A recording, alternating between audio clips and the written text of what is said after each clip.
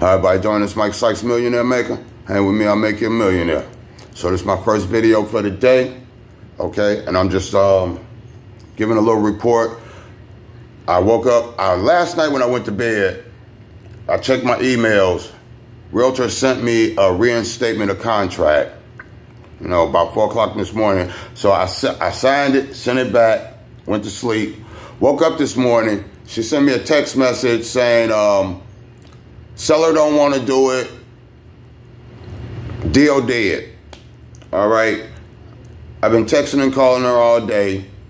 No response. She ghosted me. Okay, no problem. So I'm up doing what I need to do. Hey, going through back offers that I had put in through realtors because I'm learning, like Jamil say, I'm learning my lesson. But the thing about it is, this is how I learn.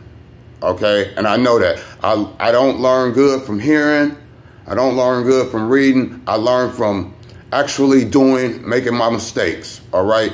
Hey, I submitted a bunch of offers through realtors, and now I got to go back through all those offers, get in contact with all those realtors that they got in contact with, and resubmit my offers. But the one thing that I'm knowing, learning is that, hey, like I said, I learn from my mistakes. But this is how I learn best. So this is what I'm doing. Up in the morning, rechecking everything I done sent a uh, offer on through a realtor and going back through it, getting in touch with the, the realtors they sell.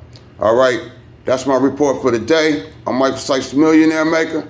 Hang with me, I'll make you a millionaire. Peace.